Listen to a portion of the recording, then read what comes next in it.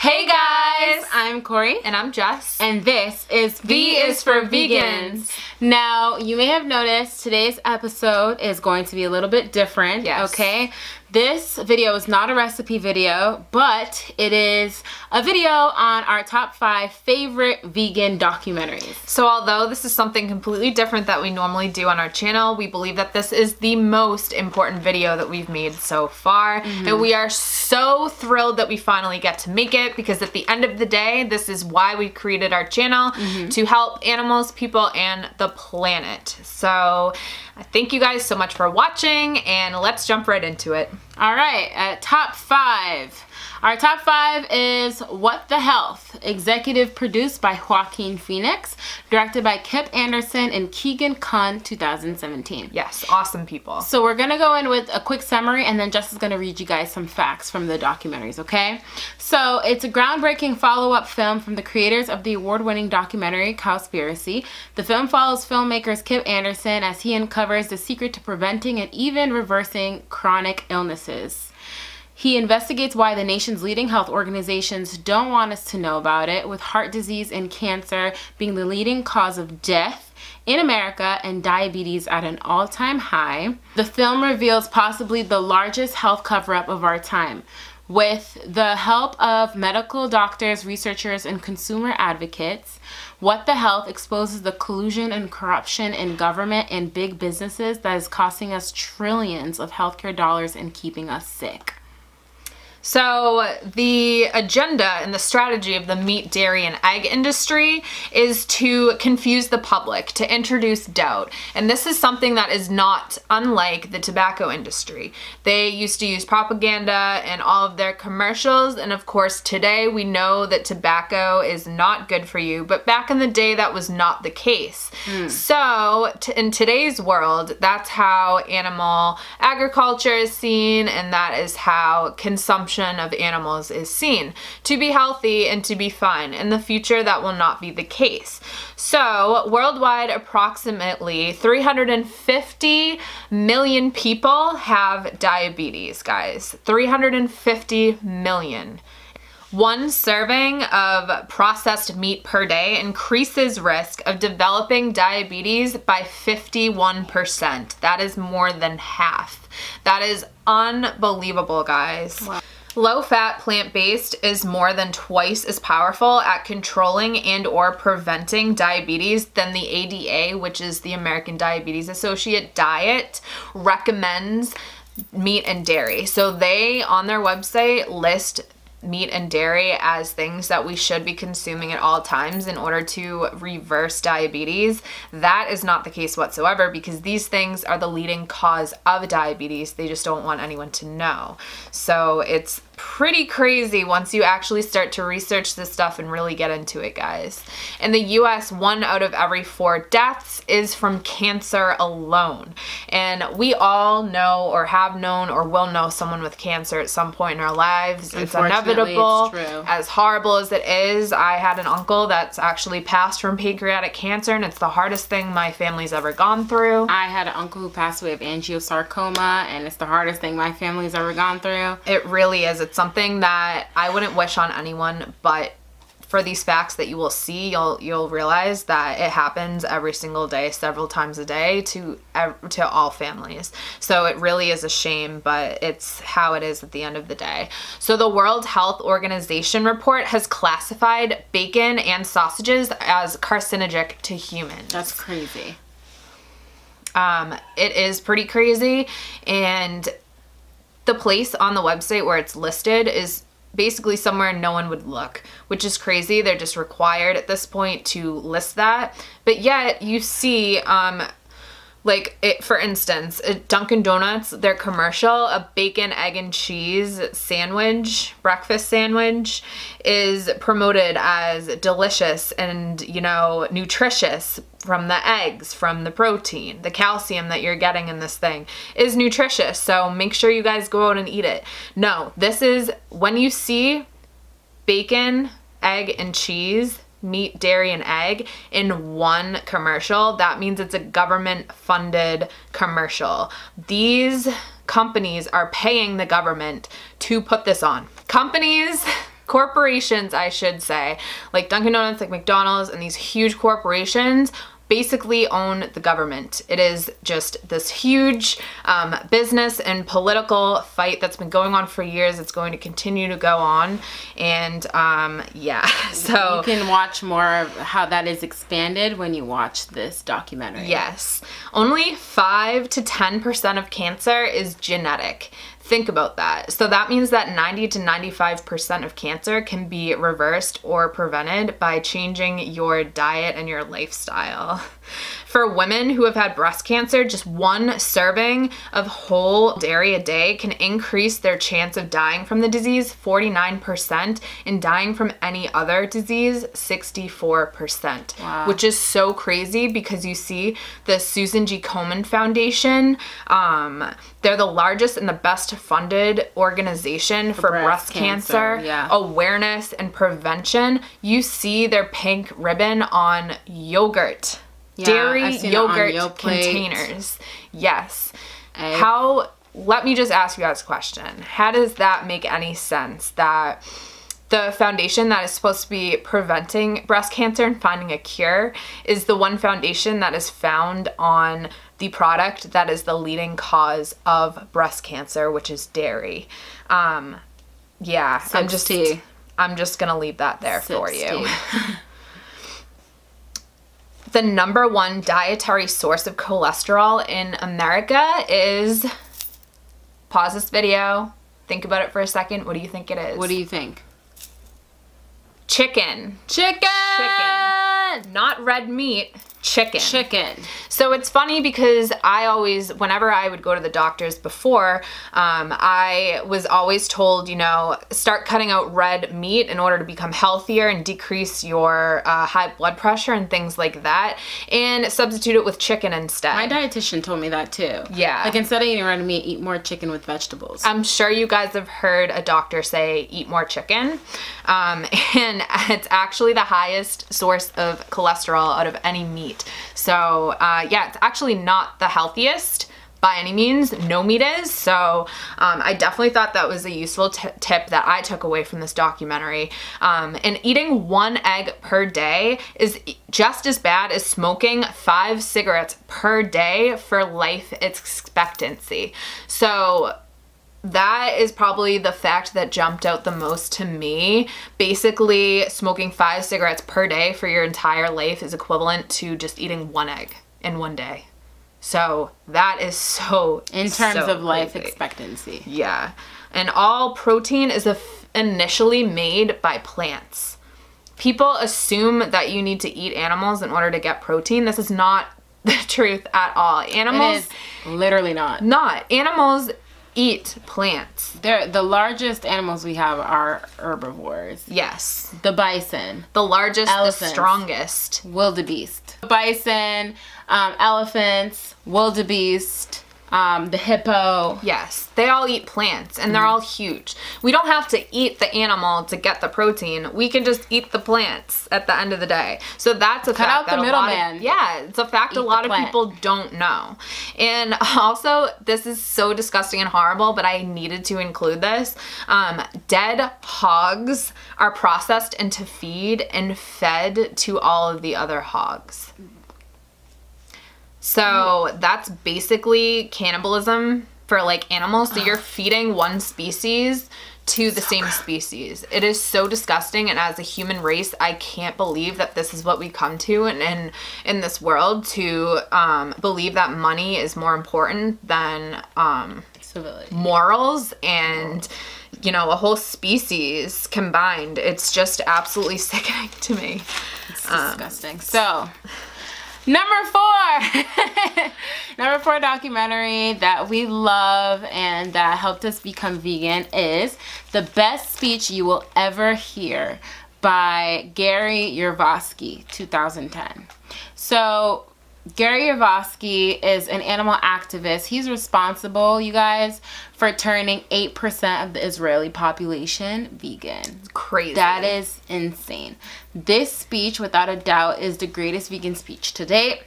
Gary's speech is not only the most comprehensive and convincing, but equal parts captivating, energetic. You guys can hear the passion in his voice he presents the facts very well with logical points that are very hard to argue with, and his conviction alone is inspirational. The speech mainly focuses on animal rights, but it also covers many areas of health, environment, physiology, our habits, our culture, and even includes a mouth-watering vegan alternatives to meat. Yes. So it's So- and it's on YouTube. Yeah, Gary Yourofsky is a huge idol of mine. He is a full time animal rights activist from Detroit, Michigan. So he goes on tours um, explaining benefits of a plant based diet and veganism in a peaceful way. And um, he his main goal is to transform everyone into a vegan lifestyle, which is just unbelievable because anyone that knows um, who are vegan now and who are activists know that there is a risk that you take every single day talking about animal agriculture and um, the the horrible effects it has on life forms of all kinds and um Some it- of these activists don't even have social media. Right. Um, like the person that made a documentary we're going to be talking about shortly. And you see him in What the Health. Yeah, he is not on any social media. He his life is at risk every single day after making Netflix documentaries. Um, me and Corey are right now currently at risk for making this video, Video? on The YouTube. wrong person if it. the wrong person ever saw this video, it just could it could literally be life or death at the end of the day. Yeah, It there's really it's a billion dollar industry, so we know that, right?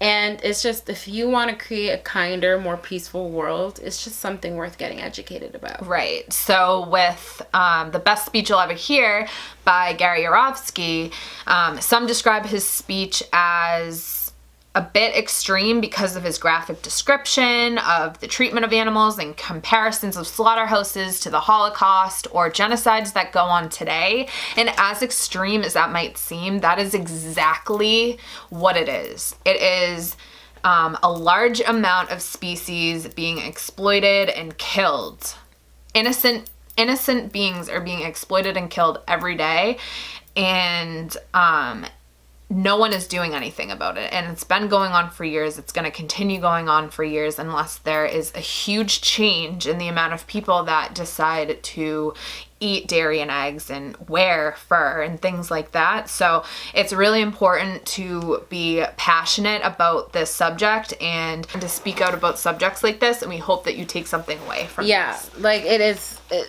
it is amazing um what you learn when you take the time to listen to someone. And you know there's really no reason not to be plant-based with the proper education because th- there's no religion that mandates slaughter. None. there's no religion that mandates the slaughter of animals okay? So that's something that gary says and you guys could go on youtube and watch the the speech to entirety. It's amazing. Yes, definitely recommend that you do that. Number three documentary on our list is Earthlings 2005. You guys, Earthlings is this incredible, eye opening, gut wrenching, you feel it in your gut. Um, about it's a documentary about the way human beings treat animals. Okay, you guys, from food to science to entertainment, we exploit our fellow creatures to no end. Again, it is disturbing and disheartening to see just how brutal humans can be and then to realize that these horrible practices are being done in our everyday life and it is just assumed as the norm and uh, Earthlings urges us to make the connection. And you guys, that is all I will say about the documentary Earthlings because I have not watched that documentary to entirety. I've watched about half of the documentary and I, couldn't even continue, you guys. It is so graphic, it is so brutal, and I personally can't make the connection between um, human beings being that cruel to another species. Yeah, guys, it is um probably one of the hardest films you will ever watch in your entire life. Um, but at the same time, it's also one of the most important films that every single person on the planet needs to watch.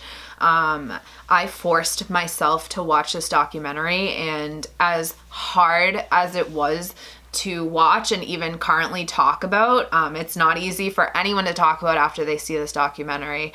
Um, I'm so glad I did because it really set in stone the future of my life, which is knowing that I will never go back to not being vegan. I will be vegan for the rest of my life because of this documentary. Once you see this documentary, you cannot unsee this documentary ever. You really cannot. Ever. My friend from New Jersey, one of my best friends, um, she always had a hard time with being plant based because she just didn't believe that she had the access.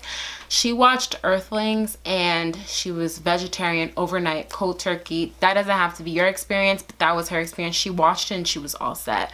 And she's been vegetarian ever since. So it's a very powerful documentary to watch. to sum it up, it um, it chronicles the day to day practices of the largest industries in the world that rely on animals for business and profits. So you see behind the scenes of hidden cameras and um, just footage that was not known um, to be filmed at these factories, and with that you see truthfully what is behind the scenes, and no one has ever captured it as well as Earthlings. So, on our number two, Forks Over Knives, produced by John Corry and directed by Lee Fulkerson, 2011, examines the profound claim that most, if not all, of chronic diseases that afflict us can be controlled or even reversed by rejecting animal based and processed foods.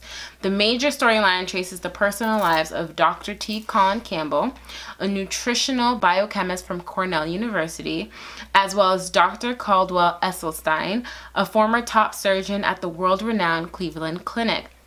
Now they separately go on these journeys um, with and they, they find these groundbreaking research and it leads them both to the same conclusion. And the conclusion is that chronic diseases including heart disease and type 2 diabetes can almost always be prevented and in many cases reversed by adopting a whole food plant-based diet.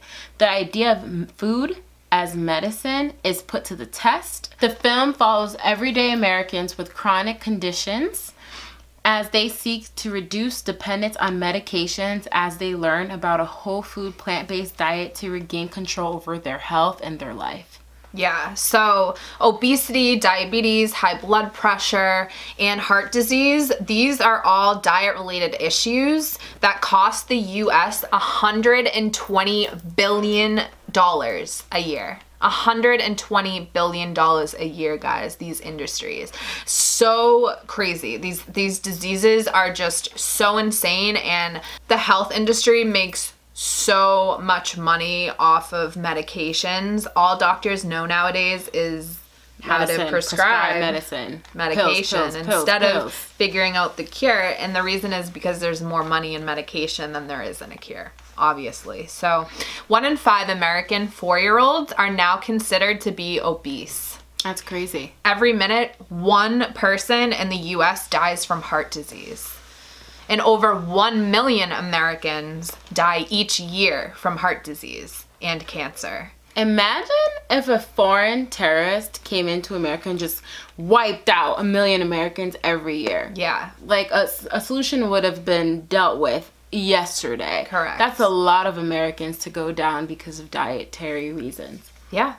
So many people don't realize that the average American consumes more than twice the recommended dietary allowance of protein.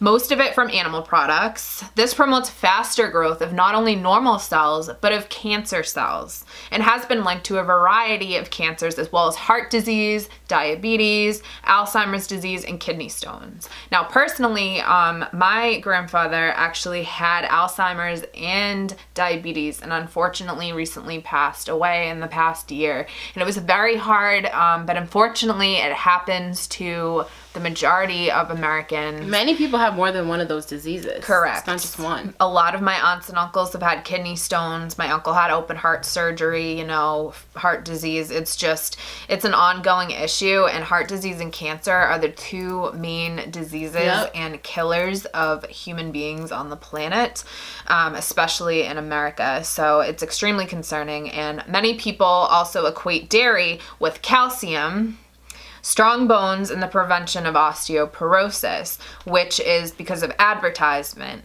So, a lot of osteoporosis medication commercials um, are telling you to start drinking more dairy because that gives you stronger bones and will prevent osteoporosis. But the fact is um, that dairy actually increases the risk of fractures related to osteoporosis. Right. So it's the exact thing that is causing the disease that is being recommended, which is another issue and a pattern that you start to see a lot in the food industry, unfortunately.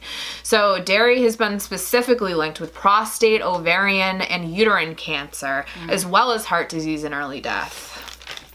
Um, humans have no nutritional or medical need to consume the milk of cows or any other non human species.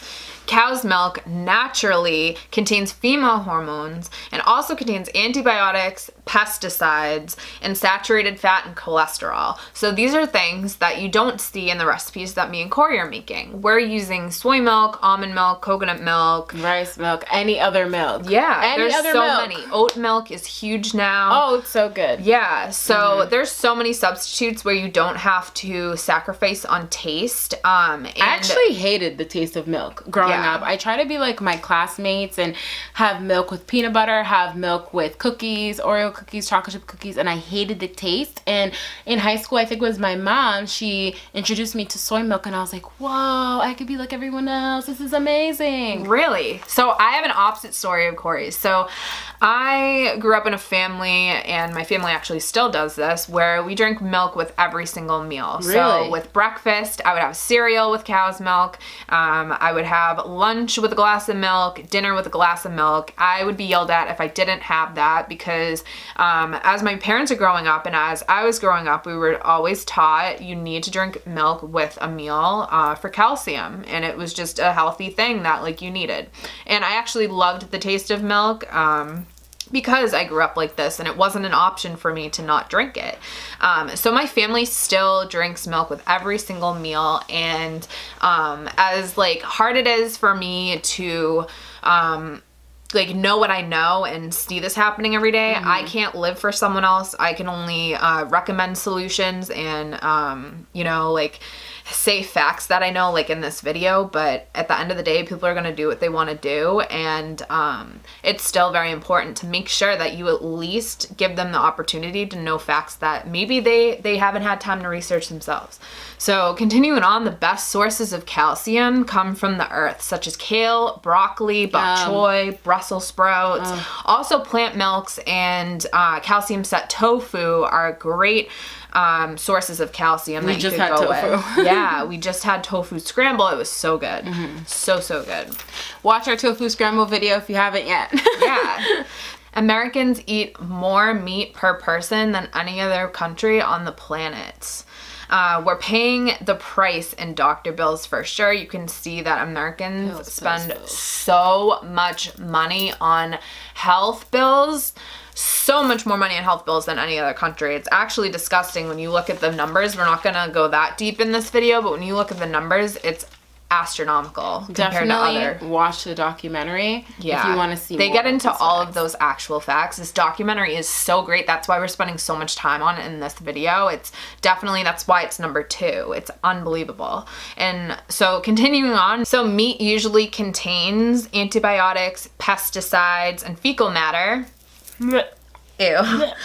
and have been associated with salmonella, staph, and other infectious diseases, outbreaks, and it's just a horrible thing. I've actually had salmonella from eating a sandwich at an airport, and you guys almost died. I spent days and days throwing up and doing the other thing, and I had to go to the hospital because I almost died. I needed an IV, so it was crazy. I can only imagine. It was so bad. And chicken, turkey, fish, and eggs, they contain significant amounts of cholesterol and saturated fat, which the plant based versions contain 0% cholesterol and far less saturated fat. So you see me and Corey using um, plant based meats and dairy way, way more in our, well, always on our Always. channel. Um, and plant-based butter.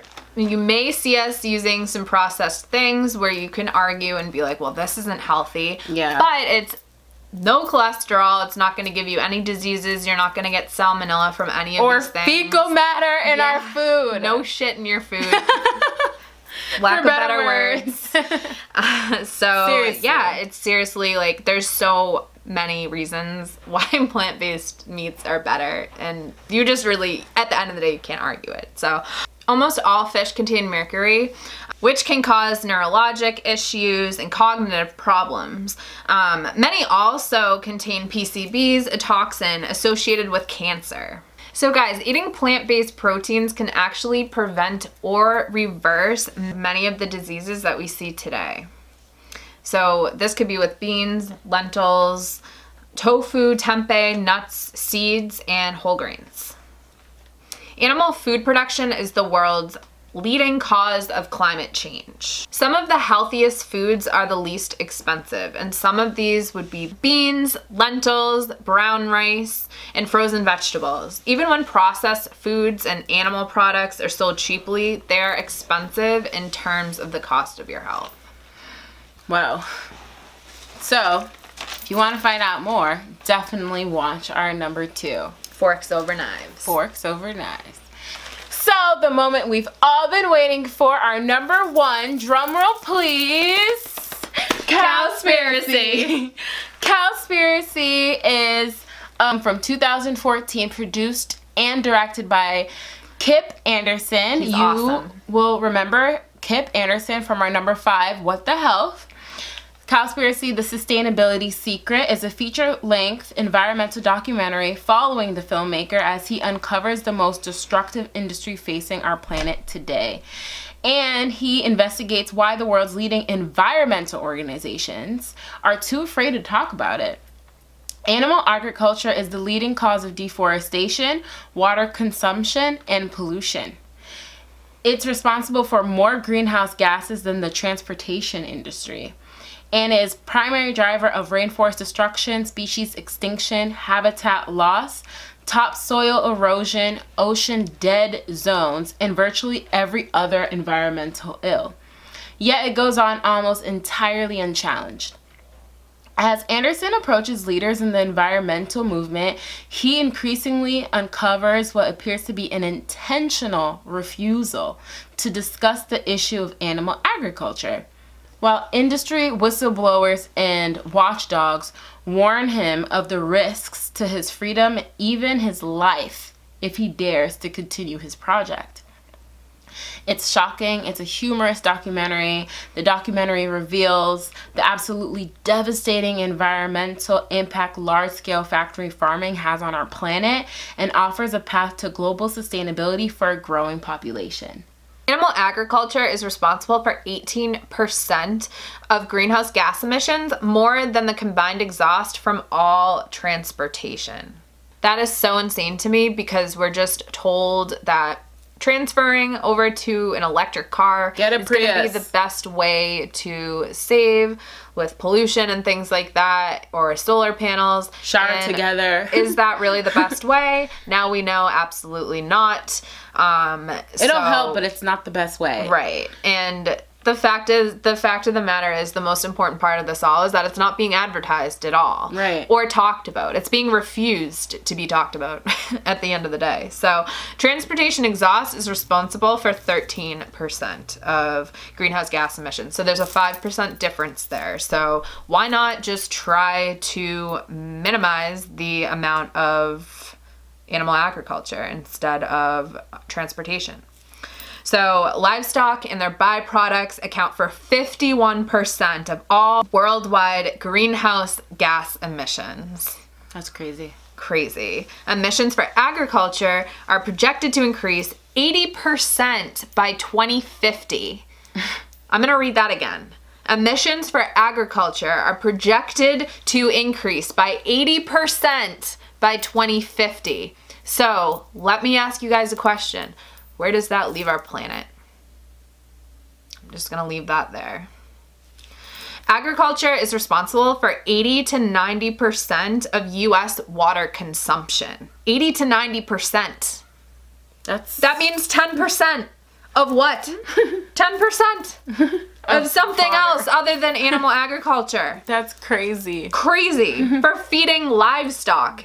Why don't we use that land to feed human beings who are starving in third world countries and Yeah. things like that? Why why feed these animals just to kill them in the end? Just so that they can kill us in the end.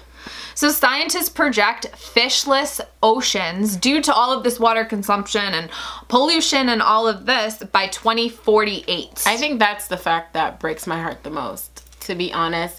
With overfishing, uh, fishermen, they take in fish that aren't even the targeted fish. correct. They take in dolphins, they take in sea turtles, they take in all these other animals that aren't even part of the process, and they throw them back. But by that time, it's too late. They end up dying anyways. 28 billion animals were killed by million. overfishing. Billion. Billion were killed by overfishing just last year. In one year, 28 billion. Just so you can have tuna sandwiches and salmon with your other options So, of food. 2048, fishless oceans if nothing changes. Keep that in mind. When the fish die, when the fish die, we die. 2,500 gallons of water are needed to produce one pound of beef. One pound. For every one pound of fish caught, up to five pounds of unintended marine species are caught and discarded as bykill. As Corey said earlier. Yeah. So you guys, you can find more of these facts in Cowspiracy. It's an amazing film. Kip does it again wherever he is because he has no social media. Yeah. For a So- good reason. For a good reason. So livestock covers 45% of the earth's total land. And 2 to 5 acres of this land are used per cow. That's Per bigger cow. than my house. 2 to 5 acres of land per cow. cow. That's, That's insane to me. Every minute, 7 million pounds of excrement, or for lack of better word, shit, are produced by animals for food in the US. Ugh. 7 million pounds of shit every minute. Every minute, someone's shitting right now. Some cow is just shitting their brains out right now. Yeah. Excre- uh, excreting shit and methane gas everywhere, and we have to breathe that in, and the poor friggin' environment has to Suffer. suffer from that. I'm sorry. Animal agriculture is responsible for 91% of Amazon destruction, along with that. And this is a huge issue that not a lot of people are talking about, but there are a good amount of people that have heard about this recently. By not eating meat, dairy, and eggs for one month, you could save 33,000 gallons of water, 1,200 pounds of grain, 900 square feet of forest, 600 pounds of CO2, and 30 animals' lives. Wow. And we will put the link in our description of how you can calculate what your veganism or what your plant-based diet, how much that has saved the earth. And you know, we are we were more than happy to make this video for you guys. It's our We top it. Five vegan documentaries that helped us change our lives. Yes, it changed my life forever, and we hope the same for you. And even if when you guys go out, if you have Netflix, you can watch the, um, you can watch What the Health, Forks Over Knives, um, as well as Cowspiracy on Netflix, and then the best speech uh, you'll ever hear on YouTube, as well as Earthlings on YouTube. Even if you pick and choose which documentaries Yeah. you want to watch, and just decide, you know, make more plant-based decisions. What is or- important to you? or start off with meatless mondays just started cold turkey i did too cold turkey i, I wanted to do 30 days vegan But guys, you are not expected to just go cold turkey. don't you don't have to be like that Yeah, unless you watch these documentaries and the same things happen to you, which is great. But you're not expected to just go vegan overnight. I don't care who tells you that you need to be perfect. Being vegan is not about being perfect at yeah we've eaten so many non-vegan things by accident Yeah, it's not about being perfect. It's about just deliberately not eating something. If you accidentally eat it, that's completely different. But being vegan is being loyal to animals, people, and the planet, and that is what it is.